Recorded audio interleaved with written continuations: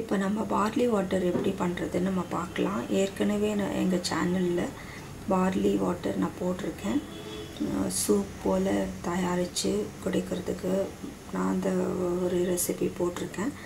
இது வந்து அது பார்லி பவுடரில் போட்டிருக்கோம். இது வந்து பார்லியை வச்சு எப்படி பார்லி வாட்டர் தயாரிக்கிறதுன்னு சொல்லி நம்ம பார்க்கலாம். இந்த பார்லி வாட்டர் டெய்லியே நம்ம ஒரு கிளாஸ் குடிக்கும்போது நம்ம ரத்தத்தை சுத்தம் செய்யும்.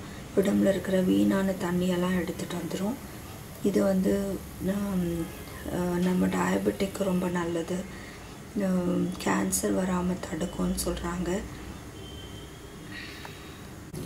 இதில் நிறைய விட்டமின்ஸ் இருக்குது மினரல்ஸ் இருக்குது இது வந்து ப்ளட் ப்ரெஷர் அதெல்லாம் வராமல் தடுக்கும். இது பார்லி வந்து பார்லி வாட்டர் குடித்தோன்னா யூரினரி ட்ராக் கூட க்ளீன் ஆகும். லிவர் ப்ராப்ளம்க்கு ரொம்ப நல்லது. இதுக்குள்ள அநேகம் வந்து இதில் வந்து மருத்துவ குணங்கள் இருக்குது இது வந்து அடிக்கடி வந்து நம்ம வந்து வச்சு குடித்தோன்னா ரொம்ப உடம்புக்கு நல்லது. இதை வச்சு நிறைய ரெசிபீஸ் தயாரிக்கலாம்.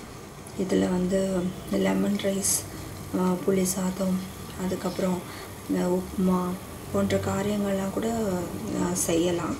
நம்ம இப்போ வந்து பார்லி வாட்டர் எப்படி தயாரிக்கிறது நம்ம பார்க்கலாம். எதுக்கு தேவையான பொருட்களை நம்ம பார்க்கலாம். ஒரு கிளாஸ் பார்லி வாட்டருக்கு ரெண்டு டேபிள் ஸ்பூன் பார்லி எடுத்திருக்கேன். இதை வந்து ஒன் ஹவர் ஊற வைக்கணும். அதுக்கு ஒரு ஃப்ளேவர் சேர்க்குறதுக்காக ஒரு நாலு பல் பூண்டு நசுக்கி வச்சுருக்கேன். ஒரு கால் ஸ்பூன் சீரகம் வச்சுருக்கேன்.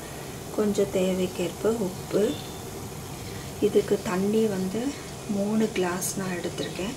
அதை பாயில் பண்ணி இதை வந்து பார்லியை நம்ம ஊற வச்சுருக்கிற பார்லியை நம்ம அதில் போட்டு வேக வச்சு நம்ம இந்த தண்ணி எடுக்கலாம்.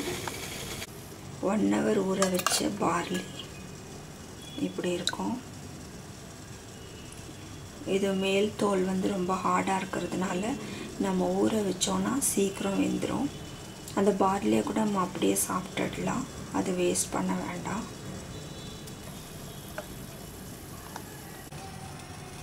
தண்ணி பாயில் ஆகிடுச்சு மூணு கப்பு தண்ணி வச்சுருக்கேன் நான். அதில் வந்து நமக்கு ஒரு கப் வந்து பார்லி வாட்டர் நம்ம எடுக்க போகிறோம் இதில் பார்லி ஆட் பண்ணுறேன்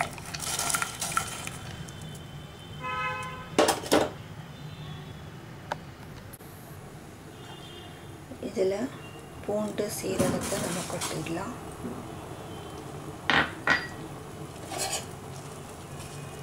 கொஞ்சம் உப்பு போட்டுக்கலாம்.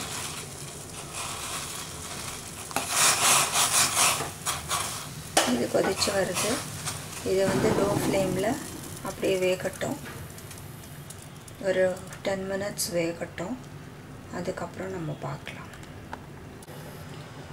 பார்லி வாட்டர் ரெடி ஆகிடுச்சு ஓரளவுக்கு சுண்டி வந்துடுச்சு.